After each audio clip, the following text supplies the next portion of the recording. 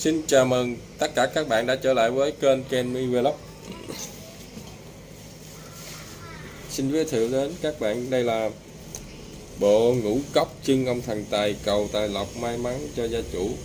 Vào mùa xuân nha mỗi dịp xuân về thì à, nhà nhà đều mua cái này để chân nha.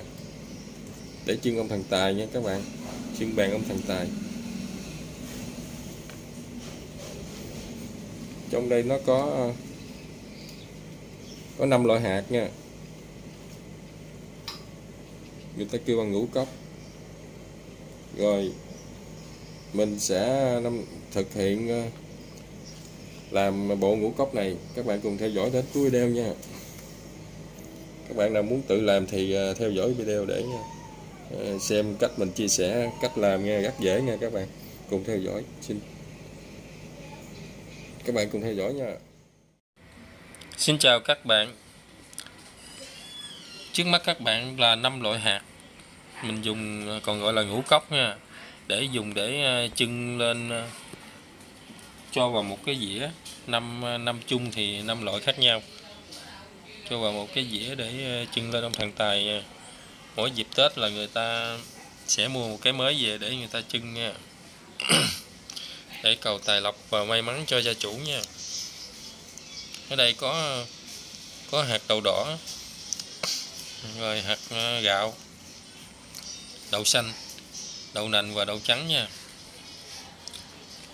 Có những người à, người ta sẽ chọn à, những loại đậu khác, ví dụ như đậu đen cũng được nha. Miễn sao đủ năm loại là được. Nhưng mà trong trong năm loại này thì sẽ có một loại tinh bột nha. Hạt gạo, hoặc là hạt nếp, hoặc là bắp nha. Cái đó là tinh bột. Một tinh bột và bốn đậu.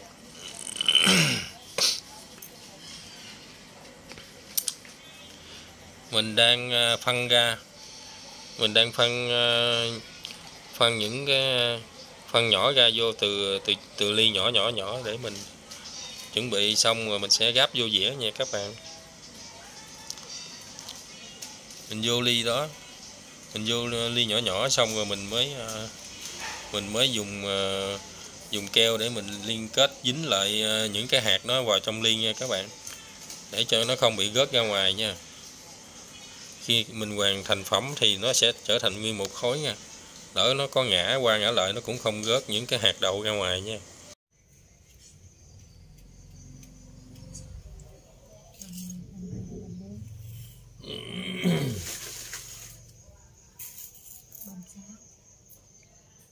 Cái đó nghiêng chưa có thấy không? Thêm nữa rồi đó cái nào mà toàn bộ đậu nành không đem qua đây hai cái nữa cái này toàn bộ đậu nành rồi thì để đó đi. Rồi đem thêm hai cái nữa hai cái toàn bộ đậu nành qua nữa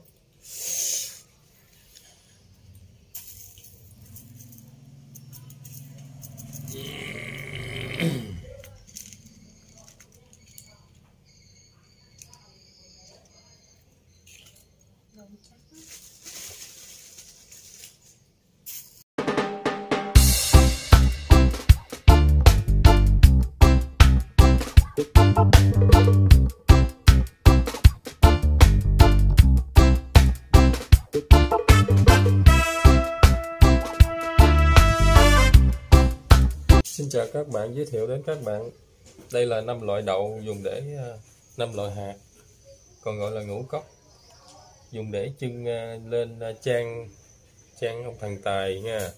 Vào mỗi dịp Tết thì người dân thường mua năm loại hạt Còn gọi là ngũ cốc Để trưng cầu tài lộc cầu may mắn nha cho uh, gạo lúa rồi đầy bồ nha ý nghĩa phong thủy nha ý nghĩa là đem lại sự may mắn tài lộc cho chủ nhà nha.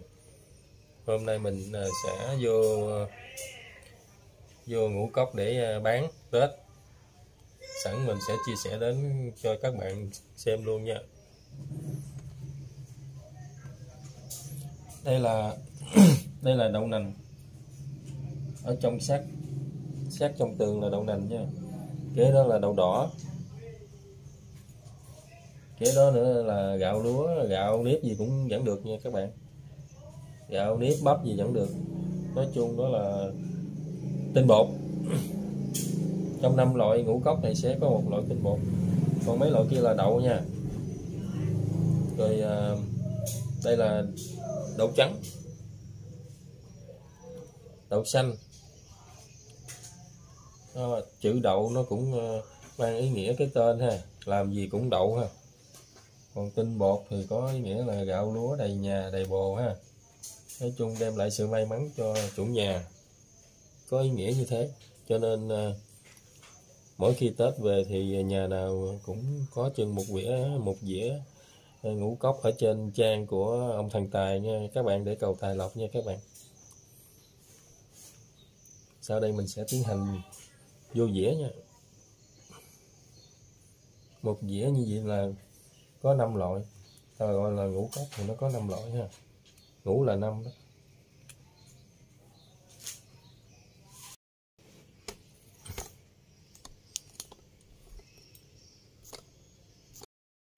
Xin chào các bạn. Đây là thành phẩm nha. Bộ à, ngũ cốc chân công thần tài cầu tài lộc may mắn nha. cho gia chủ nha. Mỗi dịp Tết về thì à, nhà nào đều nhà nhà đều mua để ờ, trưng ờ, ông thần tài nha các bạn. Đây trưng ở đây nè. Rất là may mắn nha. À, để đây.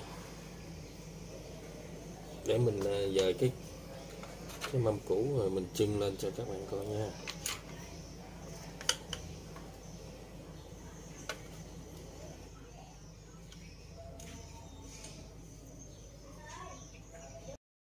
Ờ, đó chân ờ, chân gì nè ờ, các bạn? Dĩa ngũ cốc nè. Đó thấy không? Đó. rồi, sau đây mình sẽ thực hiện gáp vào trong cái dĩa gáp mấy cái ly đậu này vào trong cái dĩa. Các bạn cùng theo dõi nha.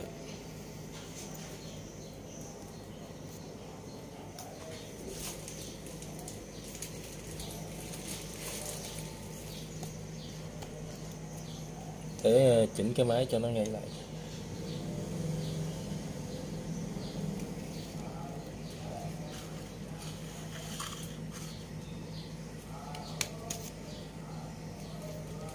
Mình sẽ dùng keo nến nha, keo nến để gắp súng bắn keo.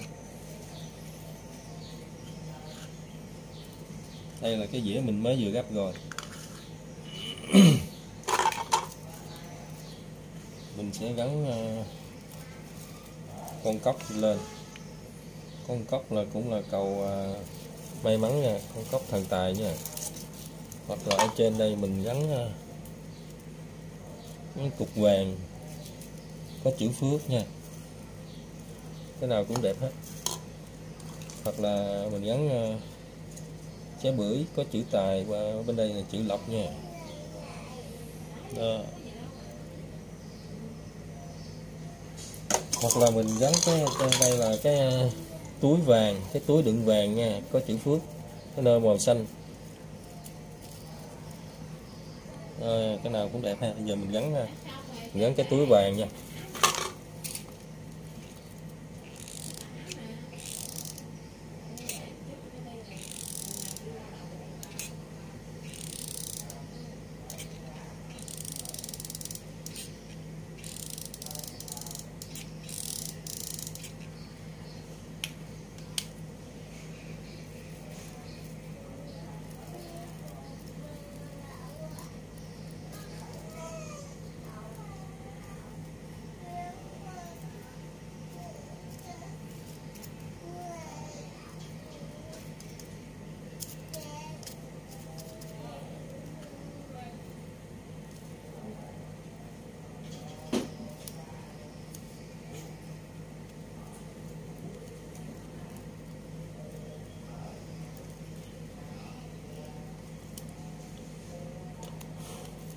Mình đeo chút xíu mình chờ cho keo nó khô nha. Rồi. Đã hoàn thành nha các bạn. Đây là một ờ, phong tục. Nói chung là một nét văn hóa của quê ờ, miền tây mình nha các bạn. Ở miền bắc miền bắc, miền trung gì thì mình không biết có có trưng cái này không. Mỗi dịp tết về có trưng không thì mình không biết nha nếu các bạn nào xem được thì ờ, hãy ờ, áp dụng, đem lại ờ, tài lộc may mắn cho gia đình nha. Chúc tất cả các bạn một mùa xuân may mắn nha.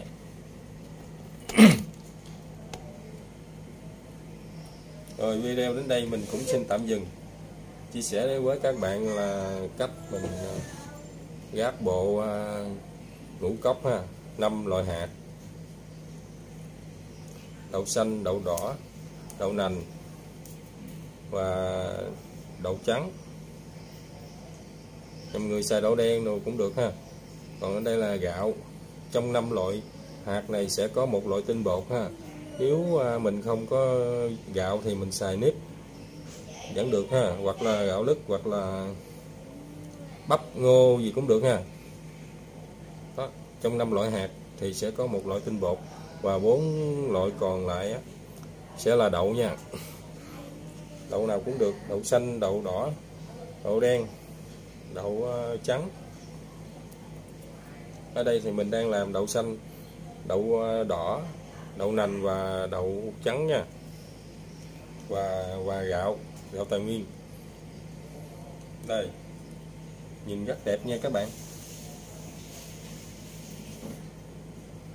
Rồi các bạn à, hãy à, hãy đăng ký kênh, ủng hộ kênh của mình để xem, để để nhận được thông báo à, những video khác nha. Mình sẽ hướng dẫn cho các bạn làm rất nhiều. Trong mùa Tết này sẽ làm bông rất nhiều ha. Và một trong những những cách, những video mà mình hướng dẫn thì có có video này là nó hơi lạ nha video này không phải làm bông mà cũng cũng cái dạng chân. Để chân cúng ở trên bàn của ông thần tài nha. Cái, cái này cái bằng bộ ngũ cốc. Để chân cầu tài lộc chân ông thần tài. Video đến đây mình xin tạm dừng nha. Chúc các bạn một mùa xuân vui vẻ nha. Xin tạm biệt.